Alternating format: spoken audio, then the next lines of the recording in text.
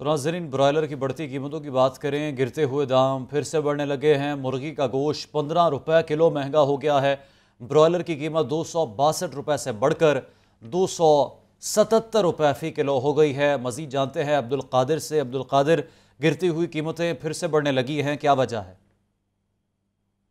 की कीमतों में गुजशत दो हफ्तों से कमी का रुझान था, लेकिन आज दूसरे रोज भी ब्रायलर की कीमतों में इजाफा हो गया और इस इजाफे की बड़ी वजह जो है, वो सप्लाई मुतासर होना है, क्योंकि खपत के मुकाबले में सप्लाई मुतासर होने से ब्रायलर गोश्त की कीमतें आज पंद्रह रुपए फ़ी किलो तक बढ़ा दी गई हैं। ब्रायलर गोश्त गुजशत रोज दो सौ बासठ रुपए फ़ी किलो था, जिसमें पंद्रह रुपए इजाफा करके कीमत दो सौ सतहत्तर रुपए फ़ी किलो मुकर कर दी गई। इसी तरह ज़िंदा ब्रायलर जो है, वो दस रुपए महँगा हुआ है। होलसेल ज़िंदा ब्रायलर की कीमत एक सौ तिरासी रुपए जबकि परचून मार्केट में ज़िंदा ब्रायलर एक सौ इक्यानवे रुपए फ़ी किलो मुकर किया गया है।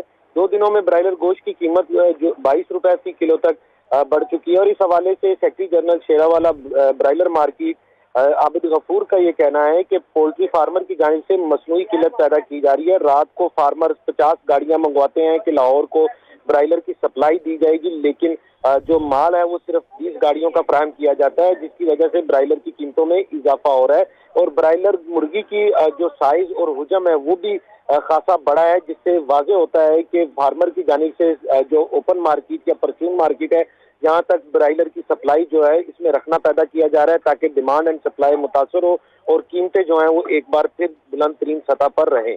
ठीक है, शुक्रिया अब्दुल कादिर आगाह करने के लिए।